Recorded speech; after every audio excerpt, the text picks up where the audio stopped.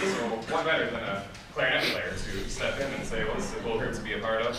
And so Amber is a clarinet, a clarinet player by day, and she just did very well at Solo Ensemble Festival, so she will be performing her solo again with the uh, accompaniments of Mrs. Seymour.